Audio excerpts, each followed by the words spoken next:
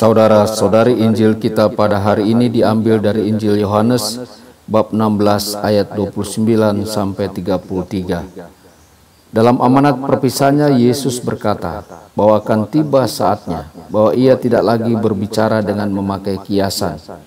Maka para murid berkata kepada Yesus, Lihat, sekarang engkau berkata-kata terus terang dan engkau tidak memakai kiasan. Sekarang kami tahu bahwa engkau mengetahui segala sesuatu dan tidak perlu orang bertanya kepadamu. Karena itu kami percaya bahwa engkau datang dari Allah. Jawab Yesus kepada mereka, Percayakah kamu sekarang? Lihat, saatnya datang, bahkan sudah datang, bahwa kamu dicerai beraikan, masing-masing ke tempatnya sendiri, dan kamu meninggalkan aku seorang diri. Namun aku tidak seorang diri, sebab Bapa menyertai aku. Semuanya itu kukatakan kepadamu supaya kamu beroleh damai sejahtera dalam aku. Dalam dunia kamu menderita penganiayaan, tetapi kuatkanlah hatimu, aku telah mengalahkan dunia. Demikianlah sabda Tuhan, terpujilah Kristus.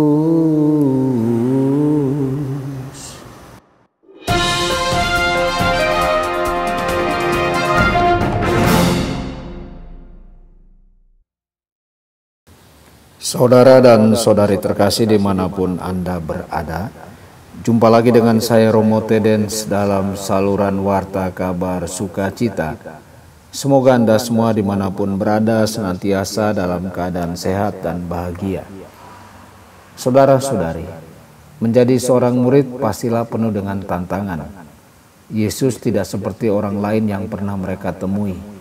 Pesannya luar biasa, tetapi para pendengarnya sering kali bingung dengan apa yang dia katakan dan lakukan. Beberapa bahkan meninggalkannya karena ajarannya menurut mereka terlalu keras. Seberapa baik kita mendengarkan Yesus ketika kita merasa bahwa kita sangat ingin mendengar Yesus berbicara dengan jelas. Saudara-saudari, Tuhan kadang-kadang berbicara ketika kita merenungkan kitab suci, ketika kita sedang berdoa, dan pada waktu-waktu lain melalui situasi biasa dalam hidup kita. Tresia dari Lusuk berkata, saya tahu dan telah mengalami bahwa kerajaan Allah ada di dalam diri kita, bahwa guru kita tidak membutuhkan buku atau guru untuk mengajar jiwa. Guru dari segala guru mengajar tanpa suara, dan meskipun saya tidak pernah mendengar dia berbicara, namun saya tahu bahwa dia ada di dalam diri saya, selalu membimbing dan mengilhami saya dan tepat pada saat saya membutuhkannya, cahaya-cahaya yang sampai saat ini tak terlihat menerobos masuk ke dalam diri saya. Biasanya hal ini tidak terjadi pada saat berdoa, tetapi di tengah-tengah tugas harian saya. Saudara-saudari, Yesus menubuatkan bahwa murid-muridnya akan meninggalkannya dan mereka melakukannya. Dan kita juga meninggalkan Yesus dari waktu ke waktu.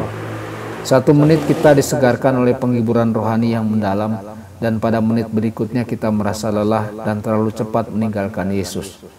Dan ketika kita merasa sendirian, kita tersandung dan jatuh.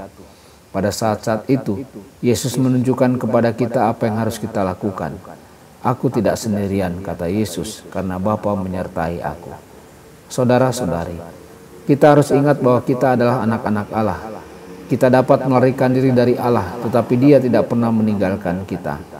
Tuhan kita yang penuh kasih bersabar terhadap kita dan memanggil kita untuk bertobat dan kembali ke hadiratnya.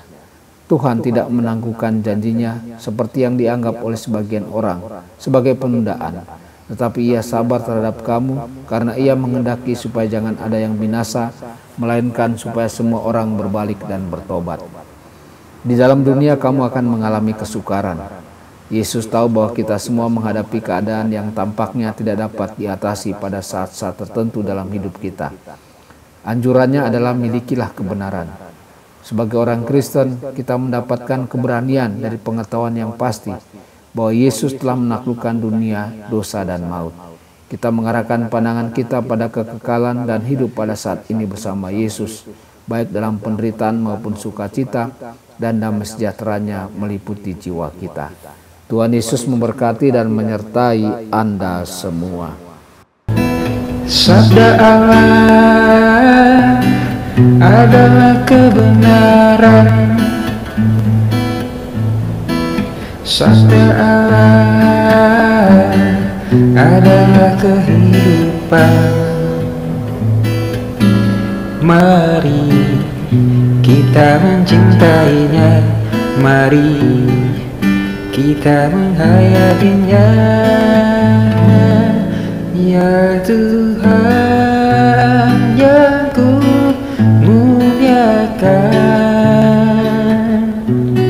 Sabdamu angkat resahku